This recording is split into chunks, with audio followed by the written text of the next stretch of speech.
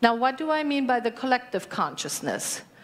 All of the other beloveds who have made decisions based upon where they are on their own individual journey. If they believe this, if they believe something different, whatever they believe.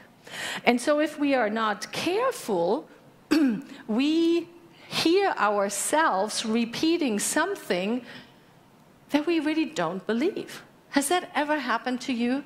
Have you ever been in a conversation, maybe about all of the viruses that are going around right now, and saying, Yeah, yeah, it's flu season. I got sick. All of that is in the collective consciousness.